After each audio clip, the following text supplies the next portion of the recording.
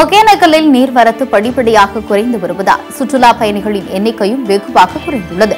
கர்நாடக அணையிலிருந்து தமிழகத்திற்கு வெளியேற்றப்படும் உபரி நீர் நிறுத்தப்பட்டதால் தமிழகத்திற்கு வெளிகுண்டுலு வழியாக தருமபுரி மாவட்டம் ஒகேனக்கலுக்கு வரும் நீரின் வரத்து தொடர்ந்து மூன்றாவது நாளாக வினாடிக்கு தொள்ளாயிரம் கனடியாக நீடித்து வருகிறது. நீர்வரத்து குறைந்ததால் ஐந்தருவி சினிஃபால்ஸ் பரிசல் பகுதி என ஆங்காங்கே நீர்த்தேக்கமடைந்து பாறைகளாக காட்சியளிக்கின்றன இதே நிலை நீடித்தால் ஒகேனக்கலுக்கு வரும் சுற்றுலா பயணிகளின் வரத்து குறைந்த வெறிச்சொடி காணப்படும். இங்குள்ள வணிகர்களும் பரிசல் ஓட்டிகளும் நிலைமையும் மிக மோசமடைந்து காணப்படுகிறது. பல்லாவரம் வேல்ஸ் வித்தியாசிரமம் பள்ளியில் பழங்கால கதைகளை நினைவு கூறும் வகையில் மாணவர்களுக்கான நாடகம் மற்றும் நாட்டிய நாடக நிகழ்ச்சி நடைபெற்றது. இதில் மாணவர்கள் வேடமணிந்து தங்களின் திறமைகளை வெளிப்படுத்தினர். மாணவிகளின் கலை நிகழ்ச்சி பார்வையாளர்களை வெகுவாக கவர்ந்தது. மேலும் மாணவர்களை ஊக்கப்படுத்தும் வகையில் போட்டிகள் நடத்தப்பட்டு வெற்றி பெற்ற மாணவர்களுக்கு பரிசுகள் வழங்கப்பட்டன. இந்நிகழ்ச்சியில் பள்ளியின் நிர்வாக இயக்குநர் விஜயகுமார் மற்றும் ஆசிரியர்கள் மாணவர்கள் என சுமார் ஐநூறுக்கும் மேற்பட்டோர் கலந்து கொண்டனர்.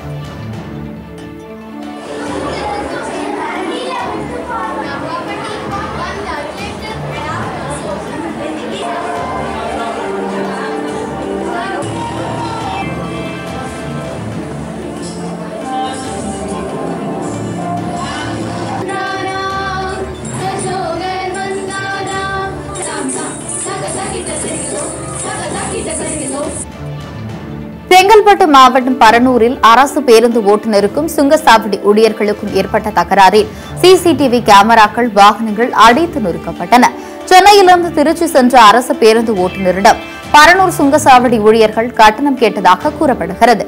இதனால் ஏற்பட்ட தகராறு கைகலப்பில் முடிந்தது. அப்போது ஏற்பட்ட தகராறில் பேருந்திலிருந்த பயணிகள் உள்ளிட்டோர் சுங்கசாவடியில் இருந்த இருசக்கர வாகனங்கள் மற்றும் சிசிடிவி கேமராக்களை அடித்து நொறுக்கினர். இதனால் அங்கு பரபரப்பு ஏற்பட்டது.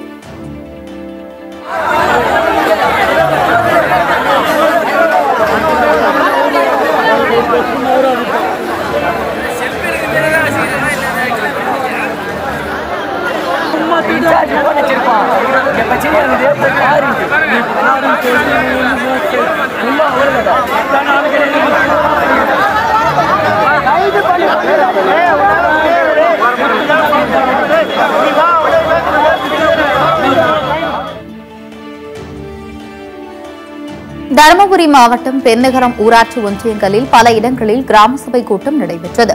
நல்லம்பள்ளி ஊராட்சி தலவாய் அள்ளி ஊராட்சியில் கிராம சபை கூட்டம் நடைபெற்றது. இதில் ஏழாவது வார்டு தேமுதிக ஊராட்சி செயலாளர் எஸ் ஆர் கிருஷ்ணன் குடிநீர் மின்விளக்கு சாலை வேண்டும் என ஊராட்சி மன்ற தலைவர் தனலட்சுமி சரவணன் இடம் மனு கொடுத்துள்ளார். இதேபோல் இண்டூர் பேடர்ஹள்ளி பாலவாடி ஓச்சி அள்ளி ஆகிய ஊராட்சியில் கிராம சபை கூட்டம் நடைபெற்றது. இதில் திரளான பொதுமக்கள் கலந்து கொண்டனர்.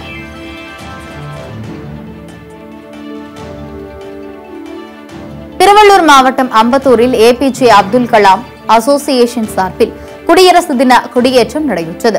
இந்தியா குடியரசு பெற்ற எழுபத்தி ஓராம் ஆண்டு தினத்தையொட்டி திருவள்ளூர் மாவட்டம் அம்பத்தூரில் ஏபிஜே அப்துல் கலாம் அசோசியேஷன் சார்பில் குடியரசு தின கொடியேற்றம் நடைபெற்றது. கொடியினை சதான் ரயில்வே நிர்வாகி ரங்கநாதன் ஏற்றி வைத்தார் இதில் ஏராளமான பொதுமக்கள் கலந்து கொண்டனர்.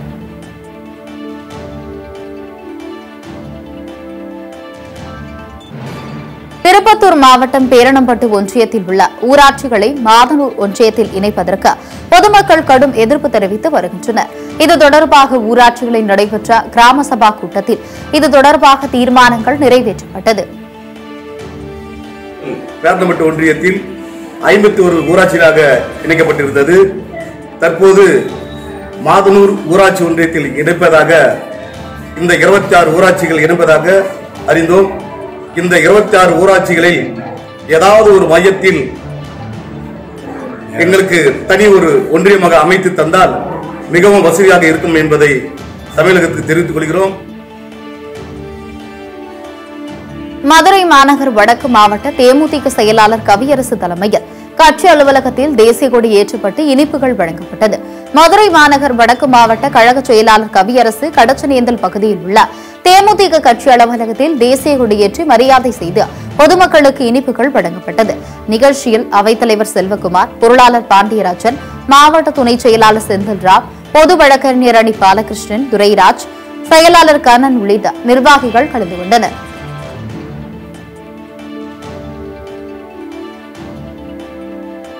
திண்டுக்கல் மாவட்டம் கொடைக்கானலில் எழுபத்தி ஓராவது குடியரசு தின விழா தேமுதிக சார்பில் உற்சாகமாக கொண்டாடப்பட்டது.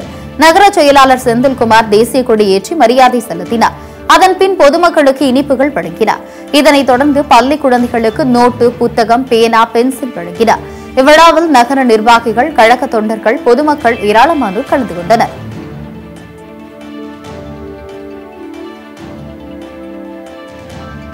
கரூர் மாவட்ட தேமுதிக சார்பில் ஆலோசனைக் கூட்டம் நடைபெற்றது. இதில் அண்மையில் நடைபெற்ற உள்ளாட்சி தேர்தல் மற்றும் விரைவில் நடைபெறவுள்ள நகராட்சி தேர்தல் குறித்து முக்கிய ஆலோசனை நடைபெற்றது.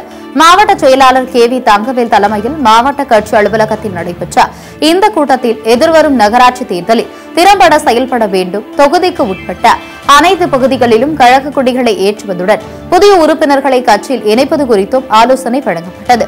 கூட்டத்தில் மாவட்ட துணை செயலாளர் சோமனூர் ரவி கந்தசாமி மாவட்ட அவைத்தலைவர் அரவிந்த் மாவட்ட பொருளாளர் கஸ்தூரி தங்கராஜ் மற்றும் ஒன்றிய நகர செயலாளர் மற்றும் நிர்வாகிகள் தொண்டர்கள் உள்ளிட்ட ஏராளமானோர் கலந்து கொண்டனர்.